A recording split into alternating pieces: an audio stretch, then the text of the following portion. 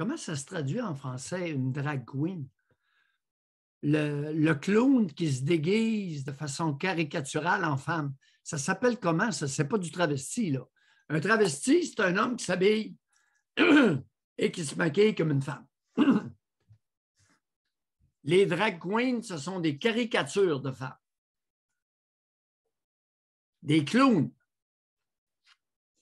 Et là, le clown, Sébastien Benoît, dans le défilé du Père Noël à Montréal, va faire la fée des étoiles.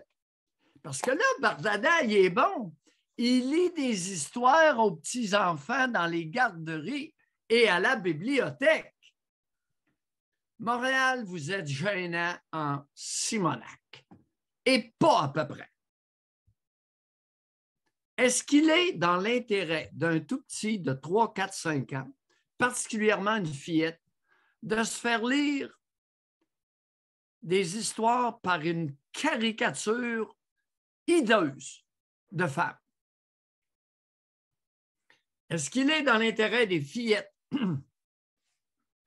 que la fée des étoiles, dans notre folklore canadien-français, soit tenue non pas par une femme, mais par une caricature hideuse, gênante, embarrassante, méprisante envers les femmes, pour ne pas dire carrément haineuse.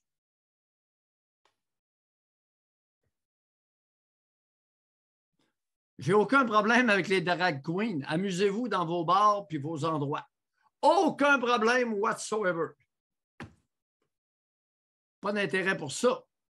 C'est pas dans mon intérêt d'aller voir un pestac avec une drag queen qui est un espèce de bouffon qui caricature grotesquement une femme.